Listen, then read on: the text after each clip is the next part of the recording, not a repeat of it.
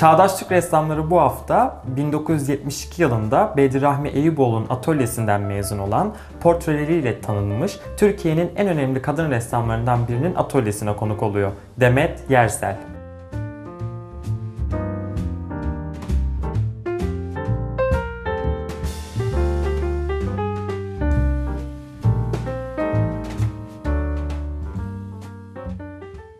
Hoş geldiniz. Hoş bulduk, sağ olun. Atölyeniz e, Beyoğlu Asmalı Mescid'de. Evet. Kaç yıldır buradasınız? Neden burayı tercih ettiniz? Ee, 2000 yılından beri buradayım. Ee, Daha önce atölyem yoktu. Daha doğrusu e, evde kendime ait bir e, köşe ayarlamıştım. Ee, Daha sonra arkadaşlarımın burada atölyeleri vardı. Onlara gidiyordum. Ee, ve e, kızım kendine ait bir atölye e, tutacağım deyince ben de benim niye atölyem olmasın? dedim. Ve ben de arayışa geçtim ve burada arkadaşlarımın atölyeleri de olduğu için e, burayı tercih ettim. E, Kızınız da fotoğrafla ilgileniyor. Evet, Onun evet. için bir atölye istedi. Tam e, sanatçı bir aile aslında. Evet. Sizin e, resim yolculuğunuz nasıl başladı? Aileniz ne dedi? O dönem ne tepki verdi? Ee, benim resim yolculuğum yani ben kendim bildim bileli hep bir şeyler çizerim. Küçük yaşta Ee, küçük yaşta, e, ortaokul e, sıralarında resim yani benim bir yazı gibi, e, bir şeyleri yazmak gibi, karalamak gibi bir şeyimdi, bir yanımdı o. E, Daha sonra lise bitirdikten sonra e, arkadaşlarım dediler akademi imtihanına gireceğiz. Ben de deneyeyim dedim. Ve o şekilde girdim, kazandım. 67 yılında girdim. Ee, o şekilde devam başladı E, yani. O zamanki sınav nasıldı? Yine yetenek sınavı Evet, vardı. ne yetenek hatırlıyor sınavı. Onu tam hatırlamıyorum. İki desen İlk, falan e, şey yaptık, e, önümüze bir obje koydular. Onu çizdik. E, daha sonra e, mülakat oldu.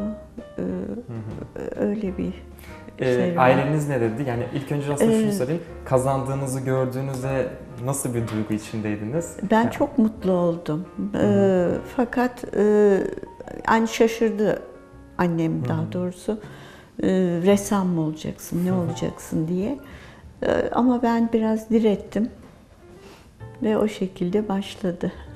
Öyle kötü bir tepkiyle aslında Hayır, karşılaştınız. hayır hiç olmadı. Tabii tabii ettiler. ettiler. Akademide Bedirahmi Eyüboğlu'nun öğrencisi ol- oluyorsunuz. İlk sene yalnız e, biz galeri okuduk. Devrim Erbil e, hocamızdı. Hı hı. E, e, atölye, galeri hocamızdı. E, onun katkılarını da hiç e, şey yapamam yani es geçemem. E, kendisi çok değerli bir hocaydı. Bizimle e, çok ilgilendi. E, desen çalışmaları yapardık. E, şeye giderdik Tophane'ye. O çeşitli müzeleri gezir, gezer.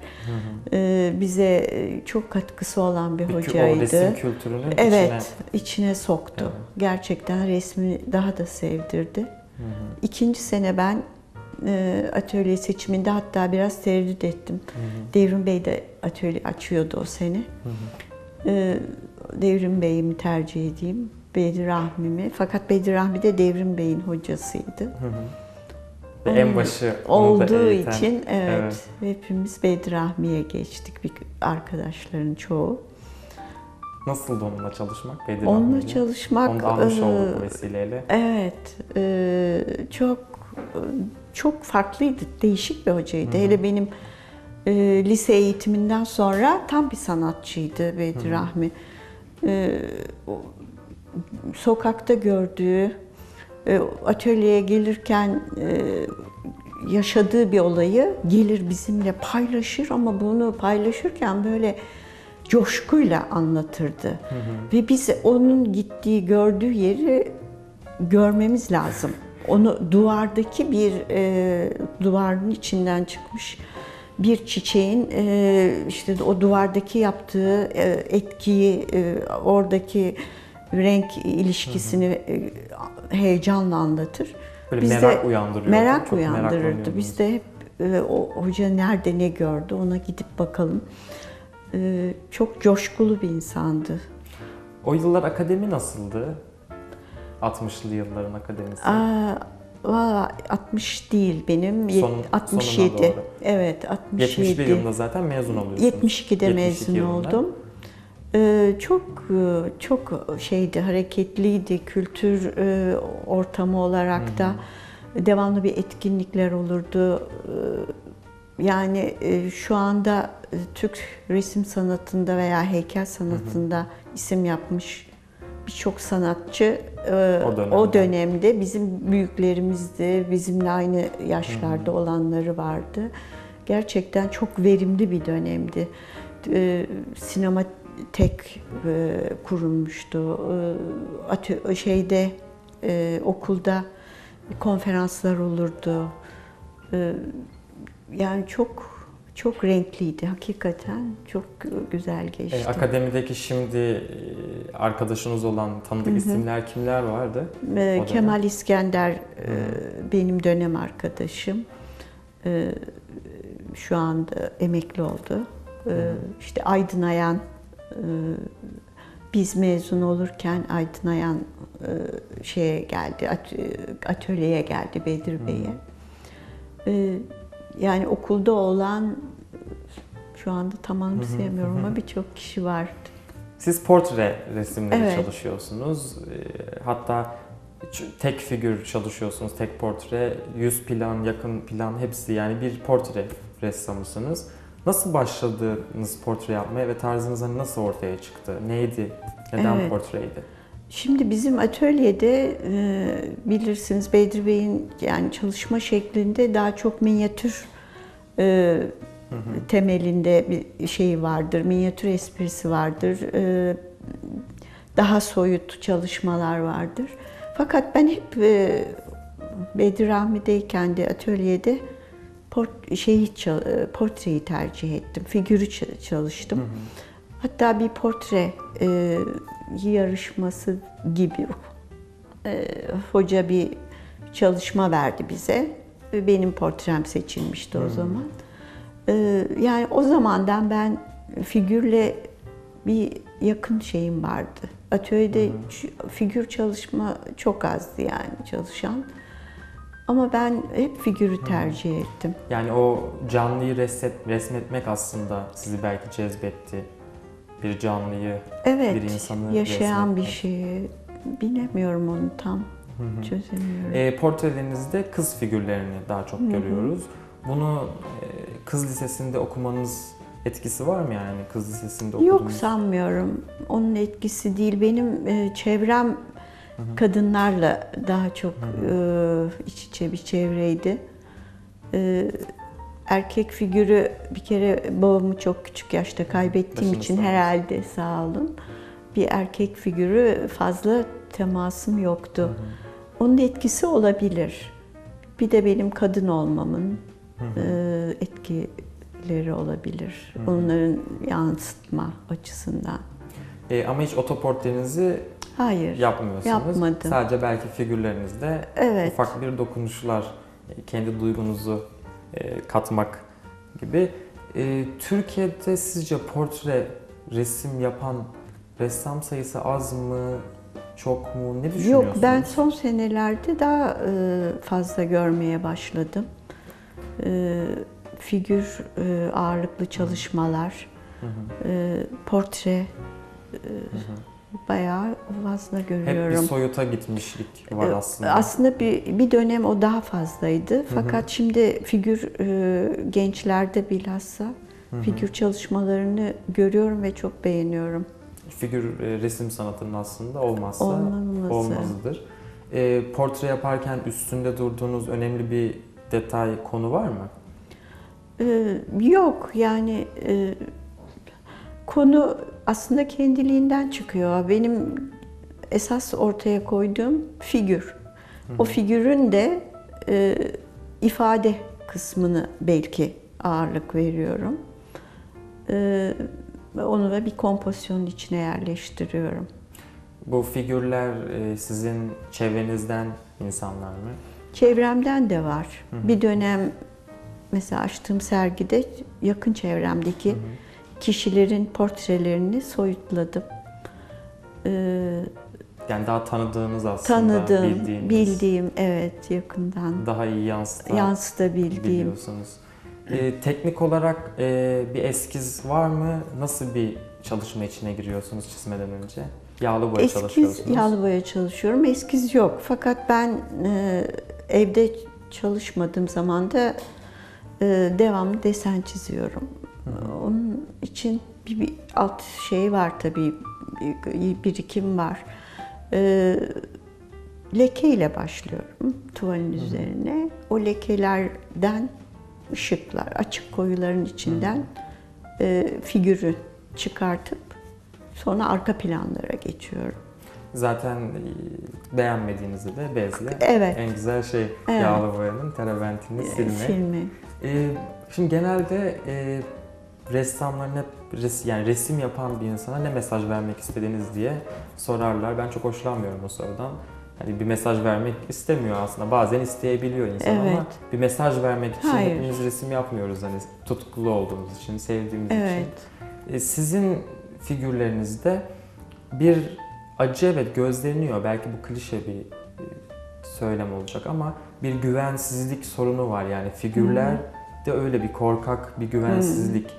Nasıl tanımlarsınız resimlerinizi ya da tam tersi mi öyle de düşünmüyor olabilirsiniz. Mesela Neşe Erdok resmi için o çirkin olduğunu düşünmüyor figürlerin ama belli bir Evet. kesim çirkin olduğunu düşünüyor. Evet. Sizin figürleriniz nasıl? Siz nasıl tanımlıyorsunuz?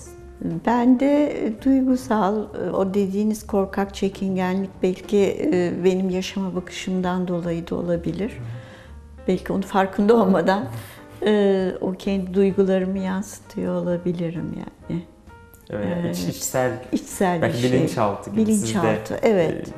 Bir o ürkekliği ben de görüyorum. E, hı. evet, bakışlarda bilhassa. Yani hatta bir kendiliğinden de bir mesaj oluşuyor gibi kız çocuklarına belki hayata karşı nasıl Temkinli durması. olması. Evet. evet. Bir o çok önemli bir ayrıntı gibi duruyor. evet. Ee, sizi etkileyen ressamlar kimlerdi?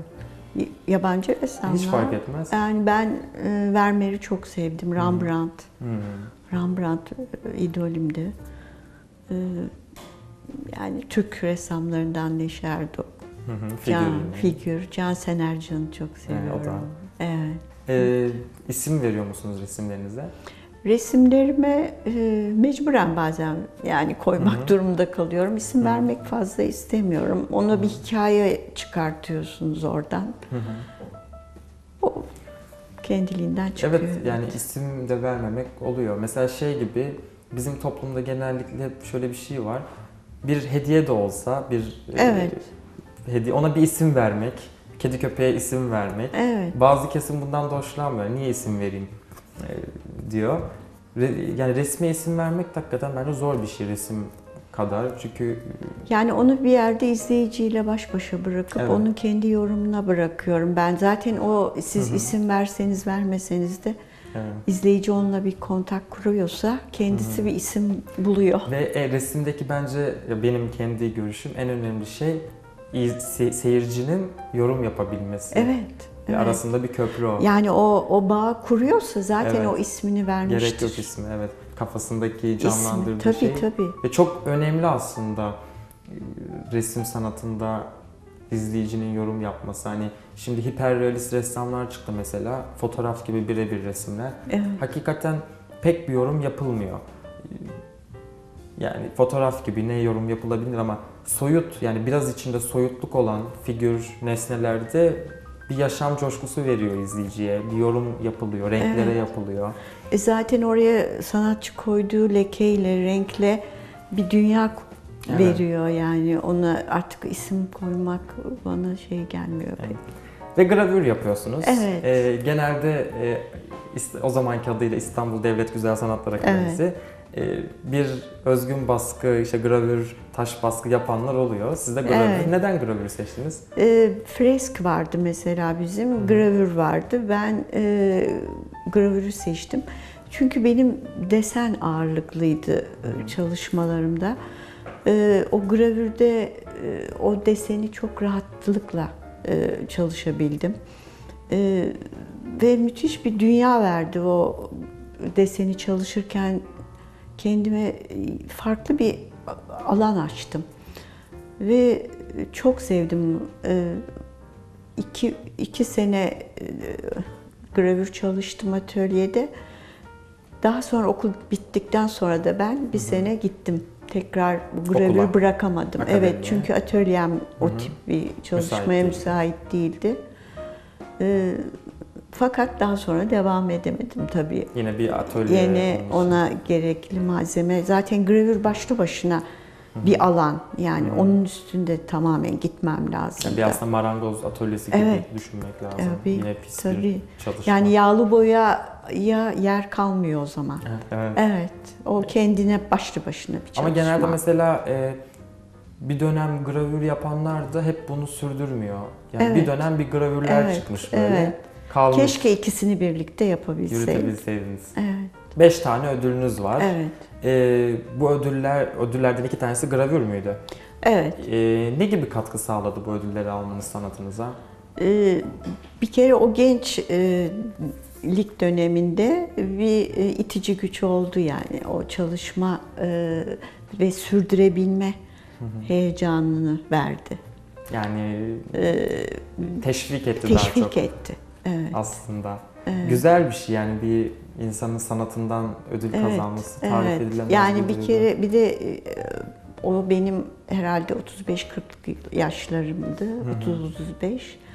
E, o dönemde bu işin e, sürdürebilmesine katkı sağladı.